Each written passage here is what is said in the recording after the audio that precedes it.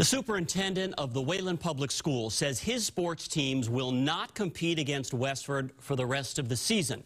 As WBZ's Brandon Truitt explains, he's citing an ugly racial incident at a recent girls basketball game.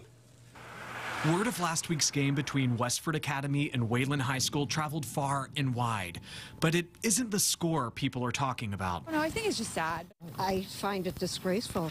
I think it's awful that, you know, that's happening in schools and it's just so inappropriate. During the girls' basketball game at Westford, a Wayland High School player says racist insults were hurled at her. But I hope it's dealt with.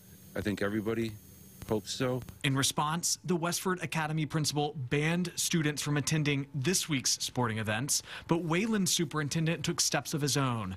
Dr. Omar Easy sent a letter to Westford superintendent saying, quote, it is inconceivable that one of our students had to endure such disrespectful behavior throughout the entire game.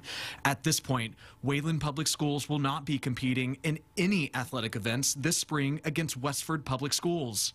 It's a bummer for the kids all the kids, but I mean, I think it's something that they got to do. A member of Westford School Committee released his own statement this week saying, quote, our community has done some really good work with respect to diversity, equity, and inclusion, but this incident is a clear indication that we have much more work to do. In the four years I spent here, I never saw anything like that. But something like that, I hope, is never ever representative of a community or an institu institution such as Westford Academy. We reached out to the superintendents of both school systems for this report and did not hear back. The Wayland superintendent in his letter said that he stands ready to work with Westford to, quote, foster a safe and anti-racist environment for their students.